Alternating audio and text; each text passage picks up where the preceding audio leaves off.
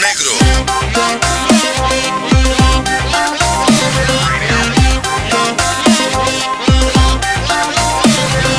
Vorba lui. Vorba lui negru. În 1961, celebra casă de discuri Decca Recording avea să primească o înregistrare muzicală de la o formație rock alcătuită din câțiva tineri care își doreau să scoată un disc.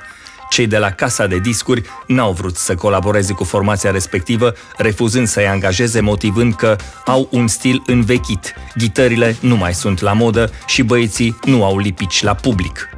Trupa despre care era vorba se numea Beatles. Beatles rămâne una dintre cele mai importante formații din istoria muzicii mondiale. Coperta inițială a albumului Yesterday and Today a fost interzisă, înfățișându-i pe John, Paul, George și Ringo îmbrăcați în uniforme de măcelar, zâmbind sadic și având o păpușă din plastic ce reprezenta un bebeluș în prim plan.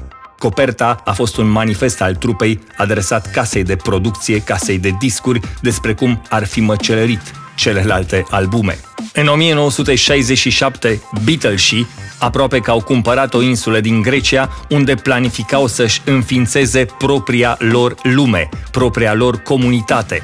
Oamenii au încercat tot ce se putea, zicea John Lennon. Război, naționalism, fascism, comunism, capitalism, moralitate, imoralitate, religie, niciuna dintre acestea nu a funcționat. Și în 2021, Beatles rămâne trupa care influențează cel mai mult muzica mondială. Vorba lui Vorba lui negru